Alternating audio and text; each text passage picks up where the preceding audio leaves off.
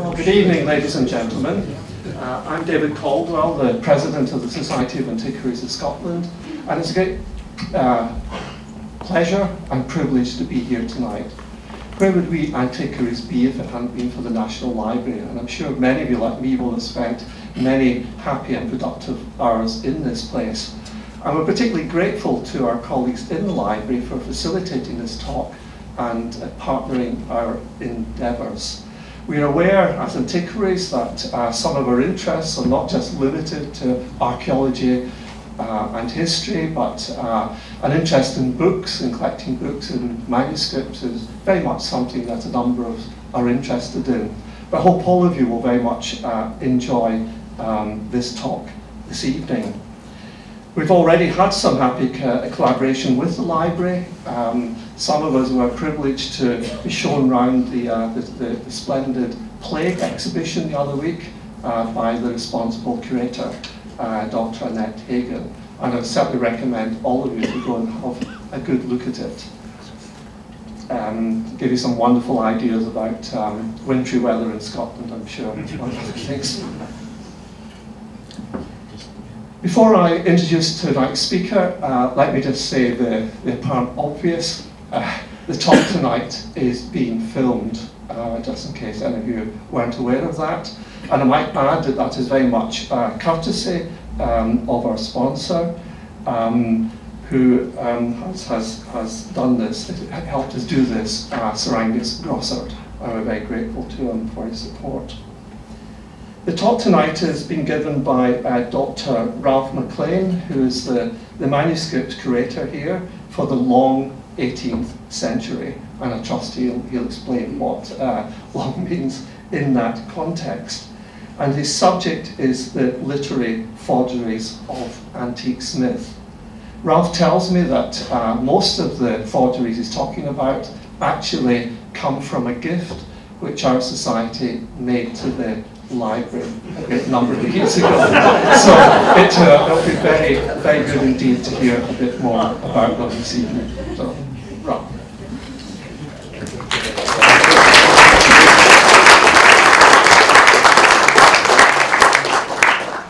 Um, well, thank you very much, David, for that lovely introduction. Um, just before we start, um, a couple of housekeeping matters to attend to. Um, the first thing to say is that there is no fire drill scheduled for this evening. So should the fire alarm sound, uh, please leave by either door that you entered, heading on to George IV Bridge, uh, or by the fire exit to the right of the stage. Um, we just have to hope that if there is a fire, it starts over there and not over there. Uh, in any event, the library staff will be there to, to help and assist. Um, can I also ask people if you have any mobile phones on, if you could switch them off, put them on silent, please. Um, that would be great. Um, okay, so the long 18th century, just before I start, um, is actually everything from about 1688 up to about 1832. I think the reason for that is so they can give me all the Walter Scott papers, uh, as, as well as uh, my 18th century duties as well. Um, before I start, I'd like to just uh, have a shout out to um, to Kenny and to Ollie, the events people, for putting on, helping to put on tonight's event, and also to um, Kira McDermott and to Gordon Yeoman who helped with the with the display um, that you, that's on and available for us tonight. Okay, without further ado then, the forgeries of Antique Smith. Now, the act of forgery has been practiced from almost every moment that the written documentation has been produced. As Edmund Chambers has noted, as soon as man set foot on the slopes of Parnassus, the shadow of the forger fell on the path behind him. From the audacious and sophisticated attempts to fool vast swathes of the population through such works, such spurious works as the Hitler Diaries, to the school child attempt to, con to convince their gym, gym teacher that they are really sick and providing a note written from their parents, forgery exists at all levels of the literary spectrum. This is understandably something of an issue for someone who works who looks after manuscripts at the National Library of Scotland, where they are fundamental to our work. Among those willing to poison the waters of literary production, Alexander Howland Smith, better known as Antique Smith, is a special case. Indeed, as the curator of both Robert Burns and Walter Scott manuscripts, the name of Antique Smith sends something of a shiver down the spine, as both of these figures were particular favourites for Smith to forge. Although, as we shall discover, a great many authorities stepped forward to pronounce on the spurious nature of the documents and frequently suggested that the quality of the forgeries was so poor that they could only fool the most credulous of people. Nevertheless, he managed to flood the manuscripts market with such numbers of forgeries that even to this day it's difficult to estimate how many manuscripts he forged in total and how many of them are potentially lurking in collections today across the world. Part of Smith's achievement, if we can call it that, is the sheer scale of his forgery, not only in terms of the numbers of documents, but also in terms of whom he was forging. In addition to Burns and Scott, Smith tried his hand at, and deep breath, Mary Queen of Scots, Oliver Cromwell, Thomas Carlyle, William Thackeray, Charles Dickens, William Pitt, Robert Southey, Maria Edgeworth, David Hume, Daniel Defoe, Edmund Burke, Samuel Taylor Coleridge, Lord Byron, Percy Shelley, the Earl of Mar, Bonnie Prince Charlie, Bonnie Dundee, or Bloody Clavers, given your politics, James Hogg, Allan Ramsay, James VIII, or the Old Pretender, and James VI. Um, now, before I go on, uh, just to give a, a, a flavor, I'll mainly be focusing on Robert Burns, but just to give a flavour of some of the other uh, people that he's forged. This is a forgery of Oliver Cromwell, all of them by Antique Smith. Um, this one, a forgery by Daniel Defoe. I, I should say, um, all of the papers in the Society of Antiquaries are actually marked spurious. So um, it's quite easy to tell something's fake if it's stamped spurious. uh, but here we go. Here's Daniel Defoe. Here's one for Percy Shelley. Lord Byron. Only one spurious in that one. Uh, Thomas Carlyle. And Bonnie Prince Charlie. Um, just as a, from, from looking at this, just a kind of quick audience participation thing here. Um, if you think one of these is genuine, one is fake, um, if you think the one on the left is genuine, you raise your hand? A few hands. If you think the one on the right is genuine, could you raise your hands? Hmm, still, and quite a few people sitting on the fence. Um, well, in actual fact, it's the right hand signature which is the genuine one. The left hand is, is actually the fake. Um, as you can see, though, it's like the, this, the similarities of the hand. Um, so clearly, he has seen documents and he has had access to them in order to, to be able to, to forge them. Now, the Edinburgh Evening Dispatch, the newspaper which did more than most to bring Smith to, rightly to justice, asked how such a blizzard of manuscripts by such famous names could appear in the market all at once, without those in the profession doing any background checks on them. In preparing for this talk, um, a phrase which kept reappearing in my head was Some men have plenty of money and no brains, and some men have plenty of brains and no money. Surely men with plenty of money and no brains were made for men with plenty of brains and no money. Now, clearly, Smith had the brains to produce, ma produce mass numbers of manuscripts, were able to fill substantial numbers of collectors. Such a number that he was actually able to make a living from this between 1885 and 1892, when he was finally arrested, put on trial, and jailed for profiting from forged documents. Now, in the course of this talk, I'll investigate the story of Antique Smith and his literary forgeries. The Society of Antiquaries of Scotland possesses one of the largest collections of Smith's forgeries, um, or it's currently on deposit here at the library. Uh, this is the um, document, or this is the, the manuscript MS2209, where most of the uh, newspaper articles and cuttings are kept, and obviously freely available for people to come in and to, to have a look at at the library. Now, from these papers, we will chart the emergence of the forgeries in the public consciousness uh, and the ensuing tale of how Smith was finally brought to justice. Along the way, with the help of the collection, I will provide examples of Smith's manuscripts and pause to consider the techniques that he used in order to convince the public that what they had bought was the genuine article.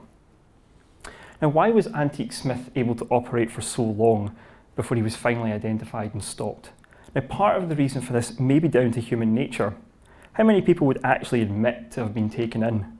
When people have bought what they consider a literary treasure at often a considerable sum, it would surely be very hard indeed to, to come forward and then to admit that what you effectively bought was a useless piece of paper.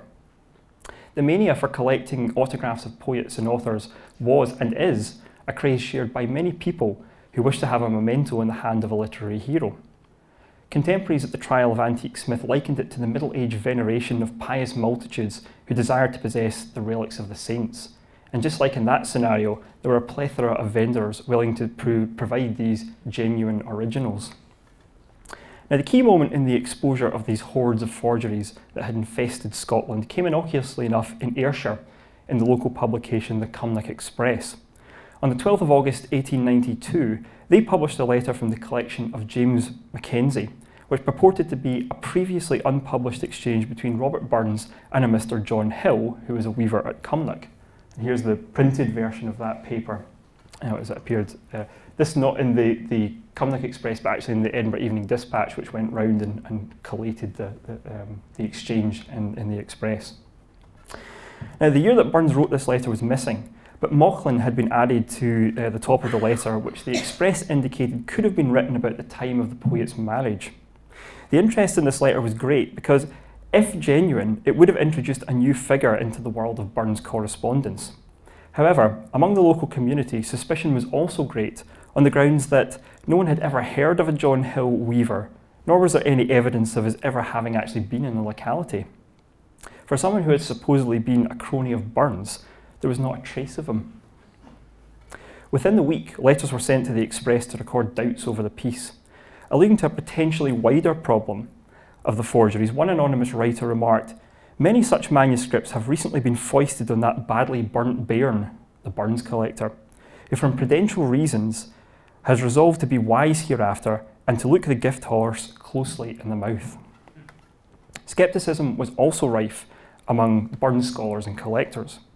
H.D. Colville Scott, one of the most well known of the day, challenged the authenticity of the piece and demanded that the John Hill letter be sent to the British Museum to ascertain its true status, or, should that prove impractical, to send it to the Advocates Library, which, given its location, was only a stone's throw away from Mackenzie's address in Forest Road.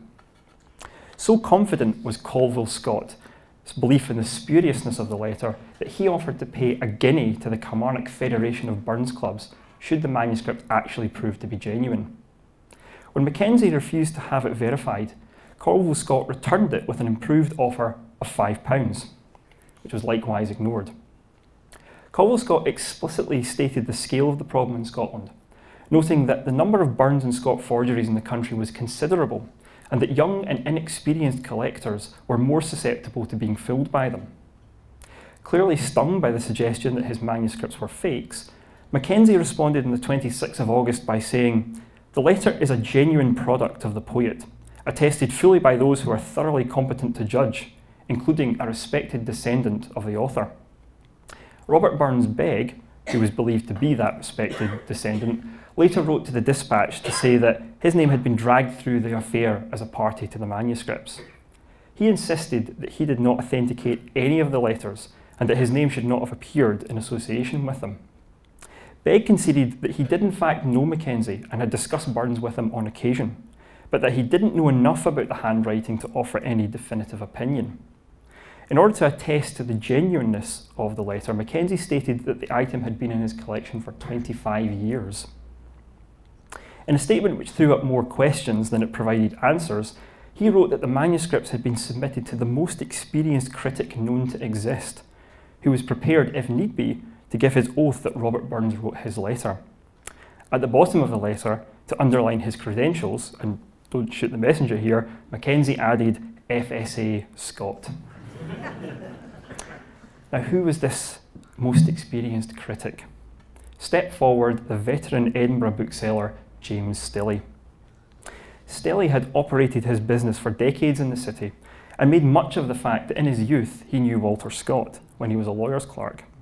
Indeed, often when professing on the genuine nature of, of Scott's letters, Stillie would remind people of his acquaintance and the fact that he had seen Scott writing.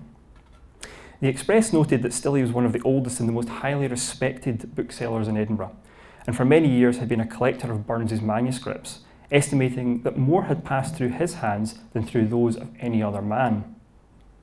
In a letter to the Express, Stillie vouched for Mackenzie as a high-class amateur manuscript collector who would never keep a doubtful manuscript. After examining it, Stillie was left in no doubt that it was a genuine document, citing the paper, the writing and the subject as all being fairly representative of Burns. For the editor of The Express, this was testimony enough. With the newspaper even suggesting that it would be strange if new Burns letters did not turn up, given that there were only a few hundred known to the world. And while this is certainly true, and even now Burns letters do very occasionally turn up, they certainly do not turn up by the hundreds, uh, complete with scores of previously unpublished poems and songs. Now, Stillie is a, an enigmatic figure uh, who did have a track record of selling genuine manuscripts. Um, in our collections, um, in the Cowie, sorry, not the Cowie collection, the Coulter collection, um, this is a receipt um, which um, has for the Burns' second commonplace book. Um, and this um, very manuscript is in the Robert Burns Birthplace Museum, um, a genuine uh, manuscript that passed through his hands. However, by the late 1880s, his actions with regard to Smith's forgeries leave a lot to be desired. To defend his credentials for recognising the handwriting of Burns, Stillie wrote to the newly established Burns Chronicle to say the following.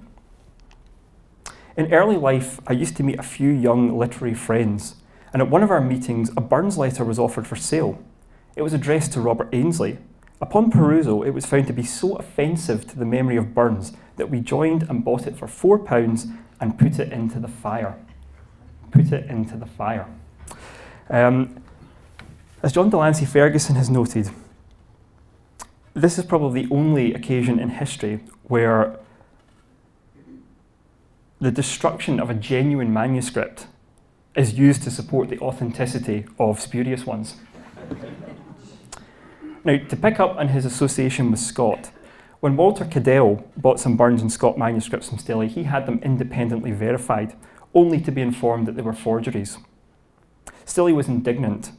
Your note, he wrote, has staggered me a little. I warrant Scott and every document I have as a genuine. Having been an apprentice of a firm in which Sir Walter Scott was a partner, and had his continued friendship of upwards of 50 years and copied many of his manuscripts, I should therefore know his handwriting more than anyone else. 50 years. After performing a quick calculation, Cadell replied that to have had Scott's friendship for 50 years, Stillie would have had to have been at least 107. Certainly, he was an old man at 88 at the time of the dispatch's investigation. So it's possible that his ability to discern manuscripts and to recollect accurately past events was beginning to dim. None of this, of course, helped Cadell, who was not able to recover his money from Stillie, and was advised not to take him to court because the cost would just have been too expensive. Now, just as things are beginning to heat up in the Express, they took the decision to stop printing any further correspondence on the matter. Without providing any specific reasons as to why they took this course of action, they simply announced this correspondence is now closed. Indeed, had it not been for the tenacity of the Edinburgh Evening Dispatch, which picked up the story, Smith may have got away with his forgeries for longer than he did. The Dispatch was altogether more pugnacious in its approach to the forgeries, openly remarking that forgeries in Edinburgh were rife. And when asked how it knew this, the paper responded by saying that scores of men in Edinburgh know it, and if Mr. Mackenzie does not know it, then he is a simpler gentleman than even we gave him credit for. Later, as the whole affair began to unravel, the dispatch waspishly remarked of him that this gentleman's career as a Burns critic, though brilliant while it lasted, has been but brief. Of him it may be said that he went up like a rocket and has come down like a stick. Now, the dispatch was in hand to illuminate the issues that had been raised in the Express and to provide an arena in which Mackenzie's manuscripts could be tested.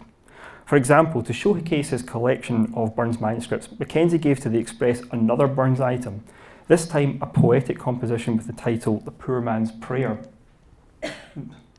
yep, and here's the, the copy as it, as it appeared in the in Enraven Dispatch. now, bullishly defending the work's authenticity, Mackenzie announced that the original could be seen at his address by anyone who wished to view the handwriting. The response to its publication was immediate. Initially, a raft of critics appeared to denigrate the quality of the work, announcing that Burns would never have produced such a piece.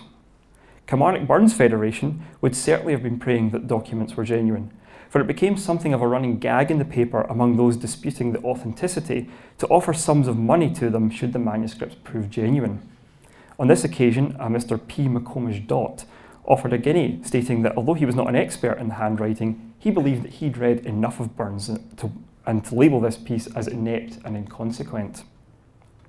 While this arrangement remained in the, or this argument remained in the realms of the literary critical, nothing could be proved conclusively.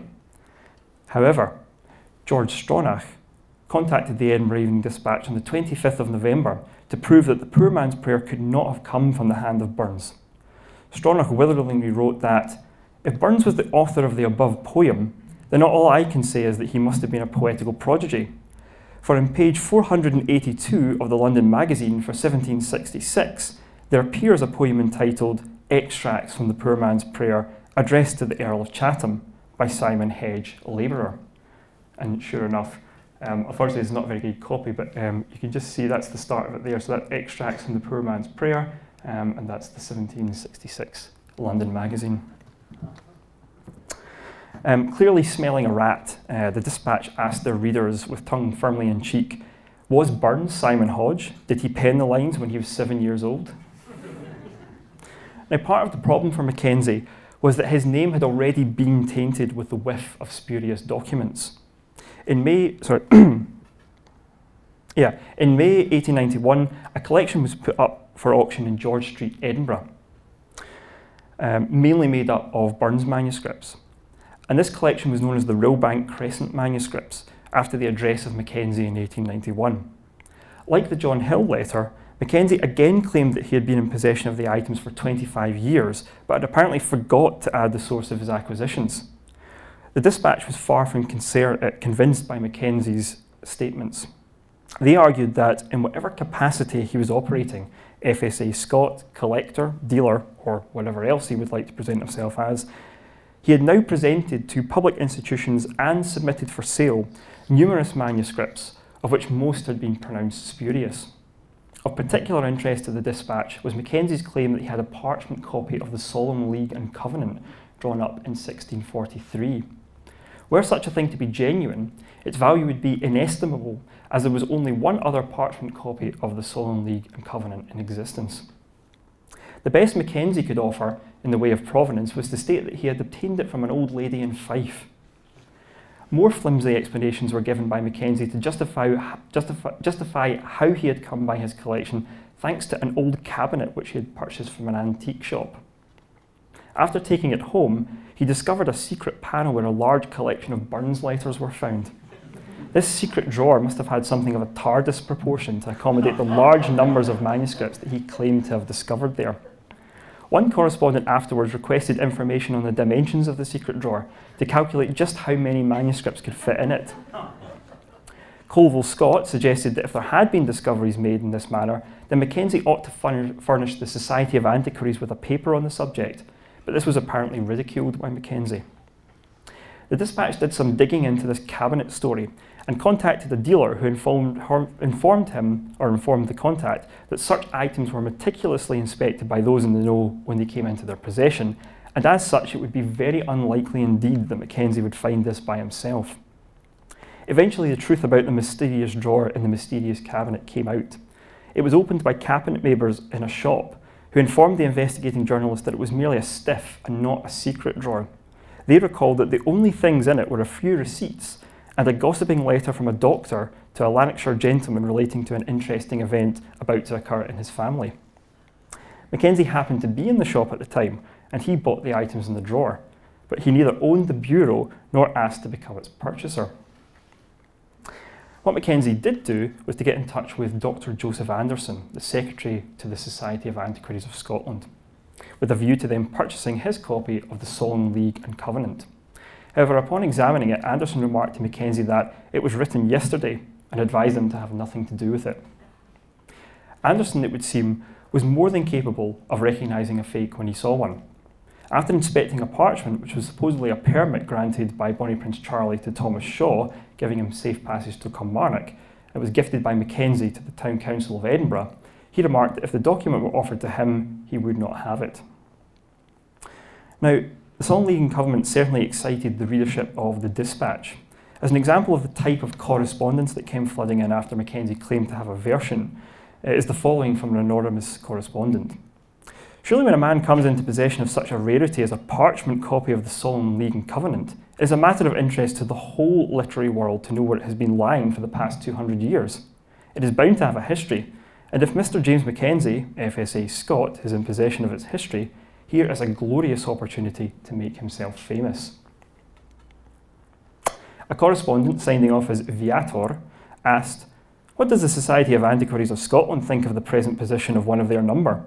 I challenge Mr. Mackenzie to appear formally at a meeting for the purpose of vindicating his action to his fellow members. The honour of the Society is at stake, in my humble opinion. Colville Scott was far more direct in his criticism, remarking that it is strange that a fellow of the Society of Antiquaries of Scotland should give so little aid in a matter of antiquarian interest and public importance when it is perfectly within his power to do so. Now, Mackenzie made it known that he also possessed another Scottish icon, this time a manuscript copy of Scots Hae. Now, given the whereabouts of all known copies of this patriotic anthem were well known at the time, a genuine new copy would be an important and a valuable find. Even in the 1890s, it ought to be worth in the region of 100 to 120 pounds. The potential of a new version of Scots Hae also caused a stir among the readers, although one correspondent, signing himself off as merely critic, wrote to say that it is really deplorable to think that so many copies of Scots Hae should be floating about at long prices, and that short-sighted people like Americans and colonials, should be taken in by such combined trickery as if every valuable letter was leaving the country. Now, although the dupes of Ferguson's forgeries were by no means located only in North America, across the Atlantic, one American banker by the name of John Kennedy had been spectacularly taken in by the forgeries. It emerged that Kennedy had bought 202 manuscripts from James Stillie, of which 155 were supposedly in the hand of Burns. 21 of the songs in the collection were sent to a Miss Laurie, which in itself would have constituted a major new correspondent. However, mention of her is not to be found in any work of Robert Burns. In order to keep up the pretense of authenticity, most of these letters were endorsed by James Hogg. Uh, the initials JH appear frequently on the letters. This is unusual because of the question which arises is why Hogg would have chosen to endorse and mark so many of the documents. It was suggested that this might be done or might have been done for the 1836 edition of Burns's works, which he was working towards with William Motherwell. But if this was the case, then why did none of the unpublished songs or uh, poems in that collection find their way into Hogg's and Motherwell's edition? Unlike Mackenzie, Kennedy was more than willing to have his manuscripts tested to get to the bottom of things. We can only imagine how he must have felt when experts returned their opinion along with the manuscripts, only to inform that out of 202 manuscripts, 201 were forgeries. Indeed, I'd be interested to find out which was the lone genuine item among the collection, or perhaps more than likely the experts took pity on him and threw him a bone.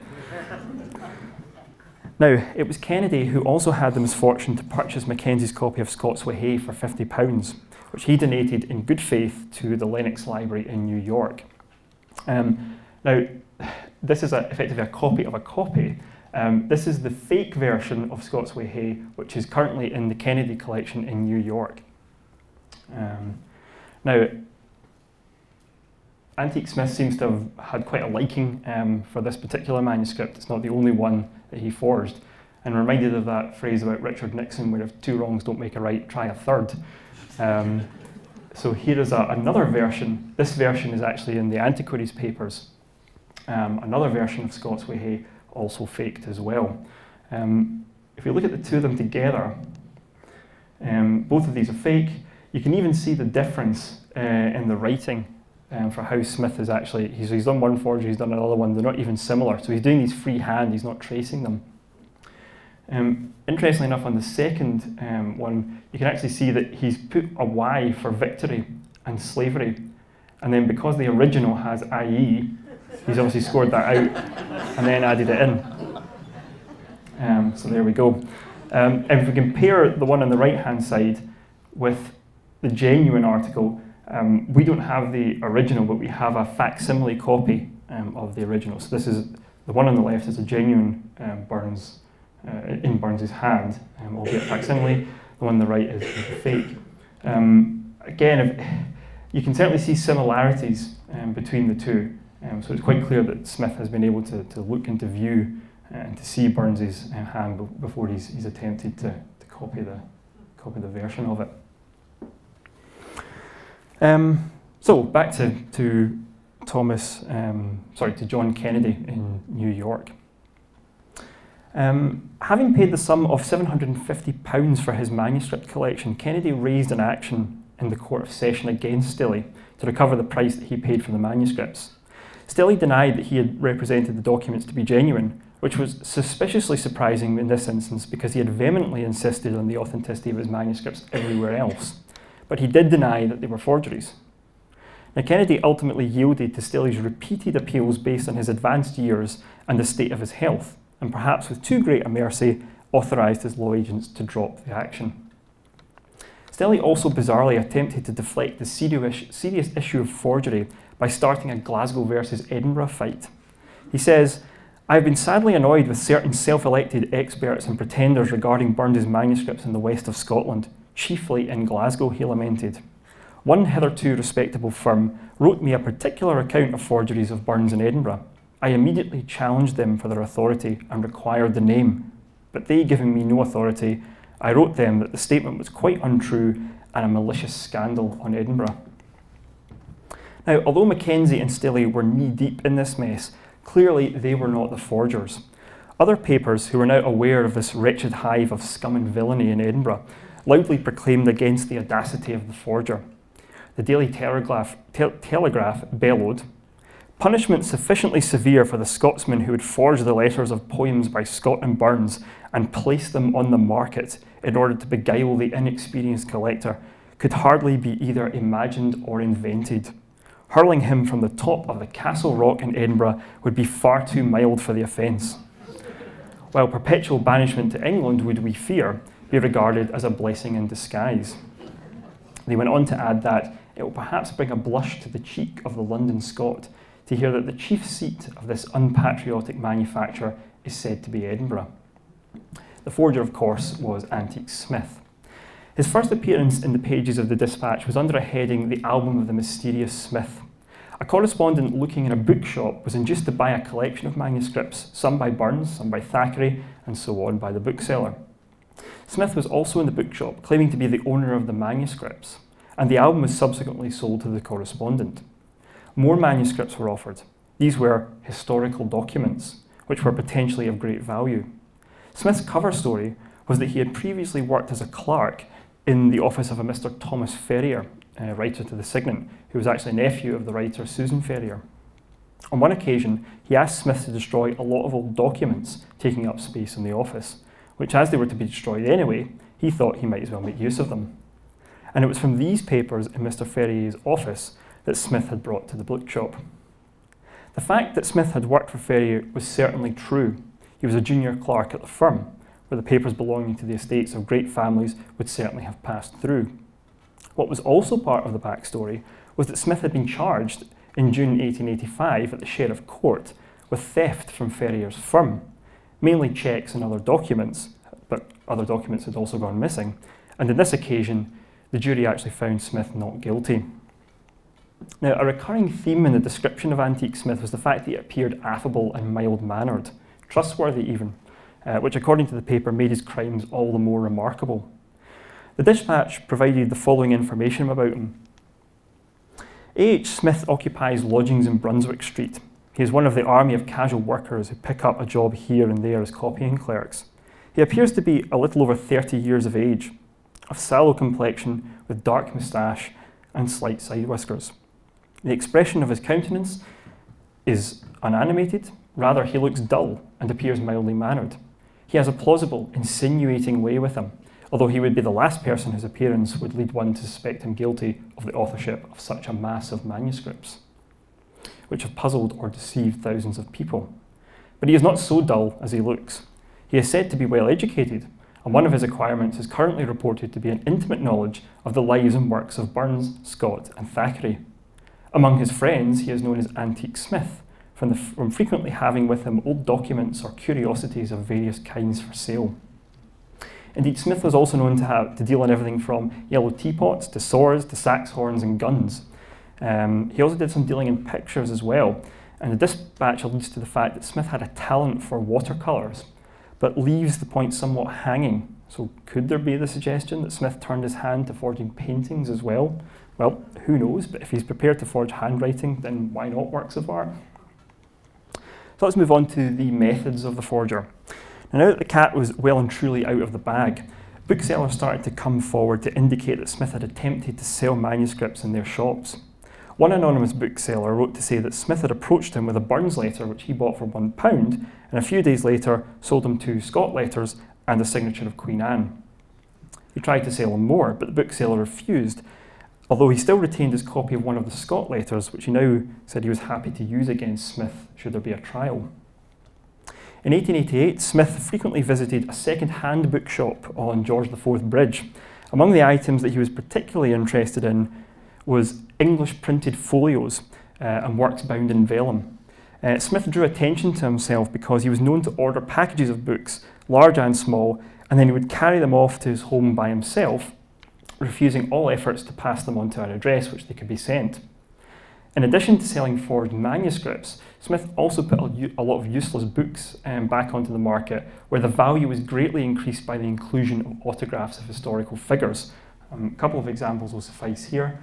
Um, this one is, well, supposedly a gift that Robert Burns gave to James Smith uh, from Lochlea in 1782.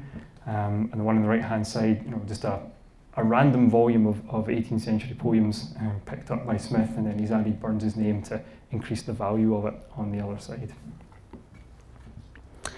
Now, from the manuscripts that have survived of Smith's collection, it would seem that there was a progression from the creation of entirely new Burns manuscripts, that is to say, manuscripts which appeared to be unpublished letters or unpublished poems and songs. Although rather than to trust his own muse, Smith merely borrowed from minor 18th century poets, which then changed to the straightforward copying of old Burnsian favourites such as Scots Wha Hae and To a Louse. Um, so here we have a version of uh, Scotch Drink, um, one of Burns' most, most famous examples there. Um, Burns also turned his hand to um, larger um, numbers as well. This is 12 pages effectively of, of the ordination. Um, you can see the binding on it, and there's a copy down there at the front um, of another one, of, of, of uh, another larger um, single poem version as well. Um, this one is the title of the first page of the ordination, but what I've done here is to put it up against um, the, the, genuine article. Um, the one on the right hand side is Holy Willie's Prayer. This is from the Glenriddell manuscript. Um, so again, you can sort of compare and contrast um, the writing styles of, of Smith and Burns. Um, as we'll see later, one of the, the, complaints or one of the, the ways that you can detect um, Smith's work is the kind of blue, the slight blue tint on the paper uh, that Smith uses. Um, now, it would have been a far riskier business for Smith to have simply uh, created entirely new letters and songs than it would have been for him to have simply copied uh, versions of Burns's greatest hits. Um, my, my very favourite antique Smith manuscript out of all the ones that I've seen um, is the, this one coming up. Now, this looks like an innocuous um, single page, but it is in fact um, manifesting itself as the title page of uh, poems chiefly in the Scottish dialect. Um, this is an entire copy um, of every poem in the canonic edition of Burns' poems. Um, so Smith actually had the audacity to try and forge um, the entire canonic edition of poems. Um, this, this particular item is not actually in the antiquaries um, collection. it's in the collection of Bill Zachs, and I'd like to place on record my thanks for Bill for allowing me to, to show this tonight. Is genuine. Now, Smith's technique was to cut from the volumes of old books that he purchased from blank fly sheets, which would then provide him with paper of the right date. This meant that if there were watermarks, this would corroborate the dates when the letters were supposed to be written. This was especially important when he forged the manuscripts of Burns and Scott. To give the appearance of age of his documents, he dipped them in weak tea. Um, this is a a forged uh, version of Halloween poem, but you can see the sort of the aging and the folds. Um, this is the, the, the, remnants of the tea, effectively, that he would have, have dipped the, the, manuscript in to give it age. Um, what he also did was to rub dirt uh, into the creases of the manuscripts, especially in the case of forged letters, as this would enhance the look of the paper in order to make it appear that it had been folded and unfolded many times over the course of a number of years. In order to disseminate his forgeries, Smith would use a variety of methods. Sometimes he submitted them personally um, or by letter to li likely purchasers. Sometimes he sold them to inexperienced booksellers or left them for sale with more cautious members of the profession. Sometimes he sent his goods to public auction rooms, or when times were bad, he simply and simply exceeded demand, he pawned them for what he could get. Um, as he obviously had no intention of returning to claim them, they too eventually found their way into sales rooms. Now, detecting the forgeries. Dr. Dickson, the keeper of the records at the Register House, was also consulted about a number of manuscripts. However, rather than contemptuously state that the forgeries were easy to detect and should have fooled nobody, he noted that there were, there were difficulties in pronouncing opinions offhand as there were so many things to be considered and weighed against each other. However, he too had received a large number of manuscripts recently that did appear to be spurious. Letters which had gone up for sale, supposedly written by the Duke of Argyll, were claimed by William McGilvary, who was the law agent for the current Duke. He wrote to the dispatch to inform them that all of the letters had turned out to be fake when compared with the genuine examples of the Duke's handwriting. On this occasion, the current Duke was advised to destroy the letters so that they could not be accepted as genuine letters in his collection by subsequent generations. In the case of a letter by Walter Scott, which turned out to be spurious, it was the paper used by the forger that gave it away. Writing about the discovery, the anonymous correspondent told the dispatch that I detected forgery by its paper lately. A document bearing to be written by Sir Walter Scott in large folio paper. The edges were much frayed and crumpled, and had been folded up and kept in the pocket till the folds were well worn. But I found at one side of the marks of stitching, showing that it had been torn from the purpose from a book. In all likelihood, it had been the flyleaf of the book. In fact, most of the Scott letters were folded in a different manner from that employed by Sir Walter Scott. The paper may have come from the right period, but it was not of similar paper to which Scott used. And oftentimes the handwriting continually lapsed into that which appeared in the dockets, that is, the accompanying notes describing what the letters were about. At the trial, the handwriting expert, Mr. G.S. Ingalls, stated that in his opinion the handwriting of the dockets was undoubtedly that of Smith. Indeed, of 14 Scott letters collected for the trial, six began, I have your letter, and eight ended, I remain. And if Scott did not tend to use these beginnings or endings for his letters, the frequency in this particular batch raised more suspicions about their authenticity. Um, in this example, not Scott, but again Burns, um, you can see that he uses the I remain, um, your very obedient servant Robert Burns. Another thing to note is Smith deliberately keeps things vague. The more information that you add into a letter, the more that you can check against it, the more that you can corroborate in order to find out the authenticity of it. So try not to mention um, names if you can. Don't mention specific copies of poems. Quite often he talks about books that he's um, giving back to someone. He never mentions what those books are, so keeps it as vague as possible. Now, a Burns letter dated Ellisland, 19th of January 1790, and addressed to Mr. John Hamilton in Ayr, still had red sealing wax holding a bit of paper on the upper side, as if it were part of the letter which had been torn off in the opening. Unfortunately for the forger, the little bit of paper was considerably larger than the gap on the page from which it had supposedly been torn, and consequently it didn't look like the same paper at all. In one letter, which Burns had dated Mauchline 30th of April 1788, this particular line was identical to the handwriting of the endorsement. The Burns manuscripts were likewise written upon paper such as Robert Burns never used. In some cases, the sheets had been plainly torn out of old books. In others, they were artificially tinted to give the appearance of age. All the signatures had been formed on one model, and George Warner, the assistant keeper of manuscripts at the British Museum, argued that the paper was one of the key differences as the bluish tint that appeared in many of the Burns letters would have been used in legal documents and were not used by Burns in his letters. Dashes, which appear frequently in the genuine letters of Burns and were used liberally in his handwriting, had the appearance of being drawn in more carefully by Smith and in some instances looked as if they'd been underlined. Burns did not tend to sign his memoranda. Not many people would consider doing such a thing. He also tended not to put his name on copies of poems which were sent to his friends unless the poem was incorporated into a letter. Smith always signed such documents, partly to increase the value of them. And so sometimes the presence of a signature on such a document is itself suspicious in nature. Um, again, back to the Halloween poem. Um, as you can see, again, it's like Burns has, has added his name at the top of this, um, and this, this, would be, this would be unusual. Further errors in the Burns forgeries included any correspondence which was written to George Thomson for his songs intended for his select collection. Burns' forgeries to Thomson are always signed off as from Ellisland. However, Burns had left Ellisland in October 1791, and his correspondence with Thomson did not start until September 1792. One forged letter included the line, I think you will find the enclosed worth the five guineas I require. However, Burns specifically outlined from the start of association with Thomson that he would accept no payment for his songwriting, with one notable exception when he was on his deathbed. In a couple of instances, Smith had used paper that had been worm eaten, and it was clear that the ink was added later as Smith worked around the holes. If he had gone over them, then he would have blotted the paper, and this gives the highly improbable impression that the larva had been considerate enough to eat around the ink. Now, in cases where Smith had forged historical documents, inaccuracies in the timeline often provided good evidence of their spurious nature.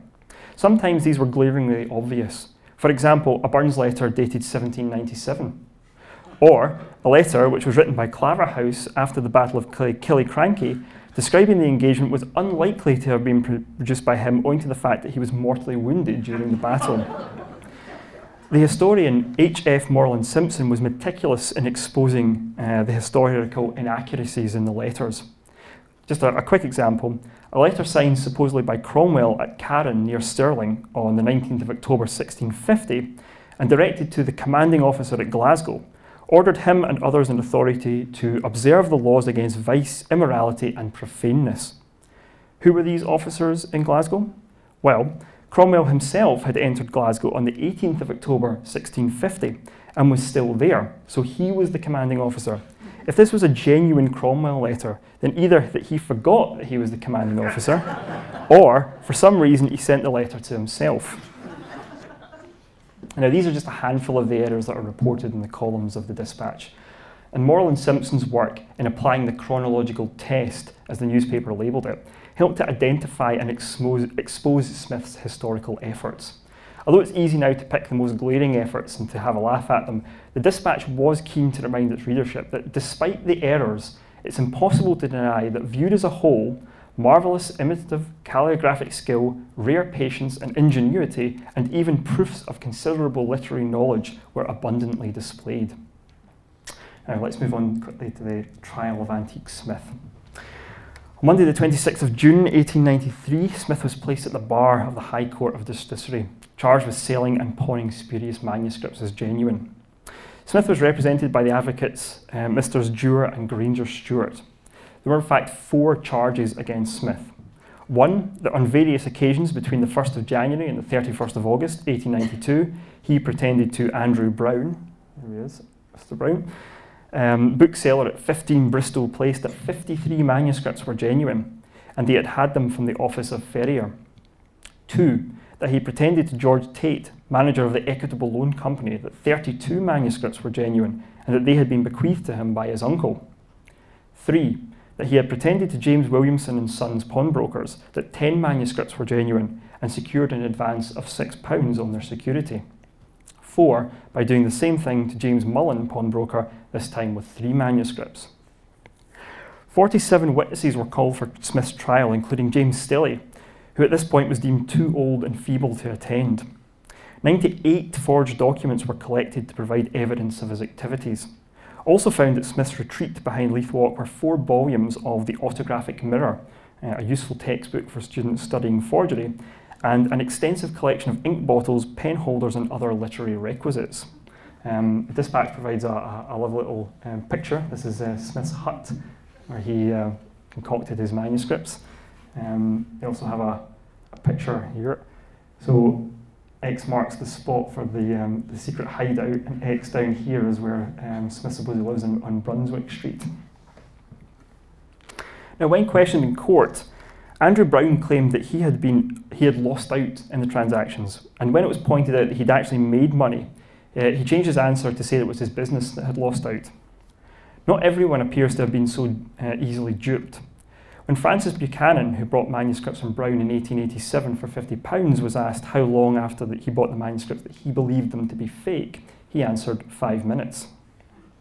Mackenzie, who was also called to give evidence, claimed that the first time he had come across Brown in 1888, he was shown two Burns manuscripts and bought them both.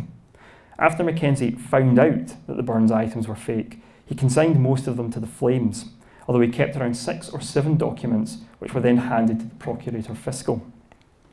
George Tate announced the, at the trial that he believed that the documents were offered, uh, the documents offered to him were genuine, um, but that he found Smith himself somewhat spurious. However, his fears were ironically allayed when Smith produced Ferrier's will, which bequeathed the documents to his nephew, whom Smith was pretending to be. It need hardly be added that the will was also forged. Smith first appears to have approached the pawnbroker Williamson in Frederick Street, initially offering him a Walter Scott letter, now, not being an expert in manuscripts, Williamson checked with James Stillie, who pronounced it genuine, pointed out that he should know, of course, because of his association with Scott, and then Smith returned again, this time with a letter from Burns to the Edinburgh philosopher Dugald Stewart. Smith came back for a third time with a Scott letter, which again Stillie verified. And Smith was given £2 on each occasion. Needless to say, he did not return to collect them. Nevertheless, when the time did come to sell them, Williamson was able to actually raise the sum of £7 and 8 shillings. Now, for the defence, Smith had his sister Agnes, who stated that in 1884 her brother showed um, her in Mr. Ferrier's office a room, the floor of which was covered in documents and papers. Also called to defend Smith was J.H. Dobie, gunner with the Royal Artillery, who said that he had lived with Smith for 18 months beginning in 1889, during which time he never saw Smith preparing any spurious documents and that would be fair enough because he would have gone from his house um, to his hideaway to do such a thing. Now, the defence for Smith took a surprising line when they argued that Andrew Brown knew the items he was selling were fake. They insinuated that a letter which Brown sent to Smith asking for manuscripts across a wide chronological spread was in fact an order like that of a merchant to a manufacturer. But this was explained away by Brown's genuine belief in the extensive haul of Smith's manuscripts. Although this appeared to be madness, yet there was method in it. For if Brown knew they were forgeries, then in that case Smith could not be guilty, because simply possessing fakes or passing fakes on to another person was not actually a crime. Indeed, forgery itself was not a crime. One could produce spurious documents to one's heart's content, provided that they did not attempt to benefit financially or as representing as authentic manuscripts. This line of defence was then undercut by his own counsel, who went on to contend that they were in fact genuine. Um, obviously, they couldn't have it both ways. Now, with such a chaotic defence and a mountain of evidence arrayed against him, it was inevitable that the jury found the defendant guilty on all charges. But by a majority, they recommended the prisoner to the leniency of the court on the grounds of the unusual character of the crime and the suspicious ease that was afforded him in the disposing of spurious documents among the Edinburgh manuscripts trade. For this reason, penal servitude was abstained by the judge and he was instead sent to prison for one year. The dispatch ultimately believed that the natural ability in Smith was perverted and misapplied, and in the manufacture of manuscripts was found an easy mode of satisfying his, quote, loafing bohemian existence. um, just as a, a, a final point here, um, this is a letter that um, Smith sent to um, Andrew Brown, bookseller. Um, see here. Uh, he actually refers to the, uh, the lawyer's office and the WS as Ferrier here. Um, I put this up because it seems to be one of the um, few examples, particularly in the antiquaries papers, um, of possibly what Smith's own hand would actually have looked like. Now, after his sentence, Smith faded from public eye, and almost nothing is known of him, his life beyond this point. However, there's one glimpse of Smith uh, over a decade later when he wrote to James Cameron on 20th November 1905 saying, Dear Sir, with reference to our recent conversation in the articles which appeared in the Dispatch and the Scotsman newspaper some years ago relating to historical manuscripts, and of which I believe you have formed a collection, allow me to mention that through a lot of balderdash there percolates a soupçon of truth. But I really never at any time took the trouble of even reading or studying them after the first or second issues. I left the results to the laws of nature. I did not deem it necessary to answer any of them in public print, but all the facsimiles, so far as I can recollect, were my own workmanship, a fact I do not and did not deny. I hope in reading the lubrications, you will not hold me in any way responsible for the various wonderful theories propounded by some of the writers. They are simply romance, so far as I was concerned. Yours truly, Alexander Howland Smith. Now, rather than destroy the manuscripts, a number of correspondents had some prescient ideas on what to do with them. A correspondent signing himself off as BS, choice of initials open to interpretation perhaps, suggested that they should be examined by a team of experts who can then mark them as spurious and they should be collected and preserved for reference in one of our public archives. BS then went on to say that because of the scale of the deception, it presented a problem for future generations. These frauds will come out from their isolated hiding places and have then attached to them a history more or less real. Time too will have lent its hand in defacing those features which to us of today are so unmistakable. It will be the ever present witness in the public archives which will keep alive the suspicion and prove a means of preserving our national relics from this brand of evil genius. Viator, writing in the dispatch on the very day that Smith was arrested, also urged that the forgeries should not be burned, but instead they should be branded across in indelible scarlet ink, forgery 1892, and handed over to the Advocate's Library to be bound up in volumes and placed in the pillory for all time. It's somewhat ironic then that over 100 years later, uh, Smith's, that Smith's forgeries had infested the manuscripts trade in Edinburgh and infected a fair proportion of the English speaking world, that he has become someone who is collectible in his own right. Tonight, rather than have them in the pillory, we have them on display. As Gerard Carruthers and George Smith have suggested, Smith is even part of the legitimate cultural afterlife of Burns. Smith had the vision to create an illusion on a grand scale and was able to back this up with an ability to create and sustain a market for his manuscripts. Ironically, his life as a copy clerk would actually have set him up well for this, as he had to copy long and exacting legal documents, and proofreading of the efforts of colleagues was time consuming, monotonous, and repetitive work. It was work best suited to a patient and reliable individual. Smith's case was unique in that the scale of his production provided him not only with extra cash, but also the means to make a living as a forger. However, as I hope that I've demonstrated, although Smith was the only one to serve time for his part in the deception, it could not have spread to the extent that it had done had it not been, had others not at least been complicit in the affair. I asked earlier how many Smith forgeries are out there. Who knows? A conservative estimate would be in excess of 500 manuscripts. John De Lancey Ferguson, who had to contend with the forgeries when working on his 1931 edition of the Letters of Robert Burns, noted that during his time the forgeries had been catalogued for sale at Sotheby's and at the Anderson Galleries, although in both instances they had been detected and withdrawn before their sales. A forged copy of a genuine Burns letter has even been discovered, or had even been discovered, on exhibition in one of the chief museums in Edinburgh. On display at the entrance of the boardroom, we have two genuine manuscripts of Burns Uh, and Scott, and we have two forged manuscripts of Burns and Scott. So I'll leave you with a challenge. Can you identify a genuine antique Smith?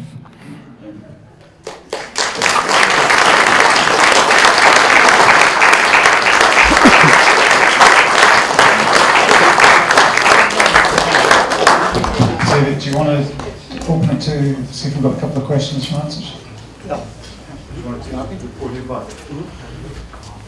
Do, does anybody have a, a question for Ralph? Or are you just going to do the usual, just sit in your hands? Yes, thank you, Graham, good to see you back. Just pass that microphone along to? You showed quite a number of images where the person reviewing them had uh, quite clearly strong suspicions and they were rubber stamped, I'm guessing, in indelible ink spurious. Presumably this was uh, an official of Society of Antiquaries of Scotland. Suppose today, tomorrow, you were going through some manuscripts here and something appeared to you in the spurious category. What is current curatorial practice in terms of marking it? Well, the, the, current practice would be not to mark it at all, um, not to put any kind of stamp um, on it. Obviously, to catalogue it correctly and to make sure that it doesn't um, uh, be falsely catalogued and end up, uh, uh, I don't know, passing itself off as, a, as, an original, if you like. But certainly not to stamp it um, with any kind of markings. Uh, it, I mean, I personally think that some of the examples in the antiquaries papers are very difficult to tell the difference However, if they are stamped that way, then it's very easy to say, oh, well, this is wrong and that's wrong and that's different and, and so on and so forth. Um, so I'd say I, would actually prefer that they, they were catalogued correctly but not marked in any way.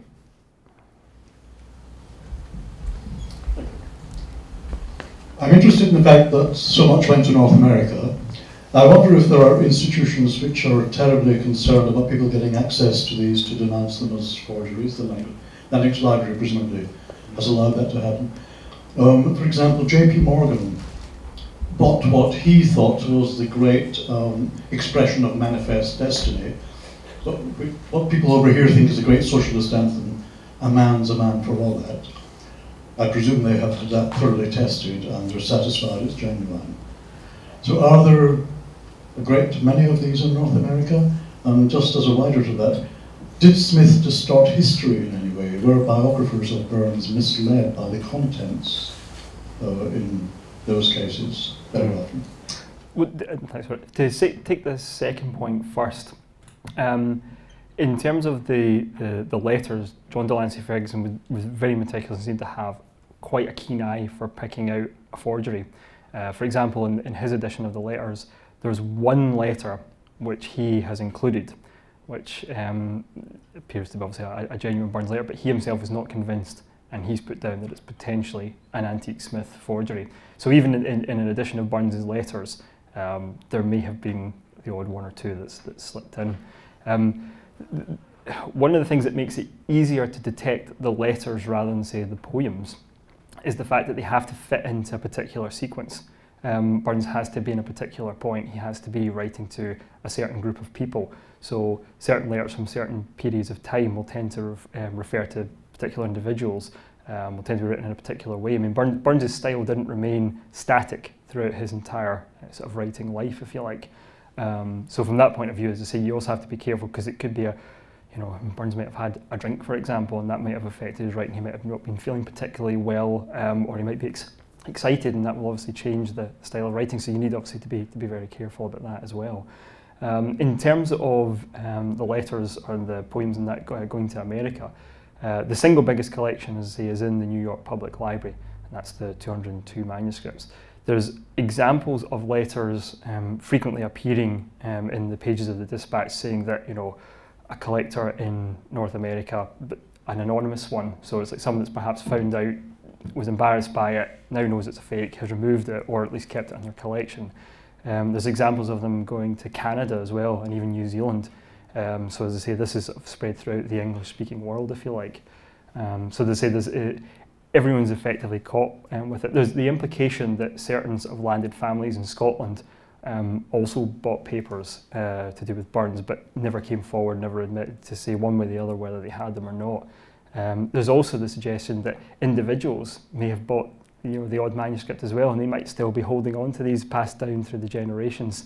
You know, here's an example of a Burns letter which actually was just simply an antique Smith fake. Um, from that point of view, I say we just don't know. One of the things I was doing just before actually I came to the library was when I was working in the Centre for Robert Burns Studies, um, was actually beginning to compile a database um, of the list of all known antique Smith forgeries.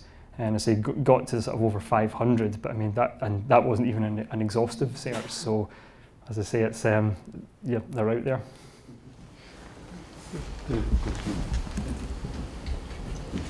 Okay, well, thank you very much indeed. That was a, was a fascinating uh, lecture and nice to get so many interesting uh, comments at the end of it. Um, one of the phrases that stuck out in my mind actually was um, loafing bohemian existence. And um, that's what I've always aspired to actually think about it. And it's, it's sad to think that uh, even Smith actually uh, beat me to that. It's also very interesting from the point of view of, a, of an old curator in uh, the Society of Antiquaries to hear um, Joseph Anderson's name mentioned in a slightly different context we've always held uh, Joseph Anderson in high regard as, a, as an antiquary, as a, an archaeologist, and it's good to see that his, his skills were honed in such a way that he could immediately spot uh, uh, a, a, rotten um, solemn league and covenant. Also, as a curator, I suppose I, have always thought that um, it is important uh, to see how people have wanted to commemorate uh, the life of some of our, our great heroes, Burns and Mary Queen of Scots. Perhaps it's sad in this case that um, in, in the case of Antique Smith, it was so many forgeries that we're dealing with uh, of Scott and Burns. Nonetheless, as you say, it is, it is a very important aspect of, of the, the history of, uh, of these great writers, the fact that there was a, a need or a desire uh, for these forgeries. You've, you've, given us a very interesting account of, uh, of a very dark, interesting um, subject tonight, for which I'm very grateful. And do remember, folks, before you leave, to have a look at these manuscripts and test your skills on the ones at the front door. So let's thank uh, Ralph in the usual way.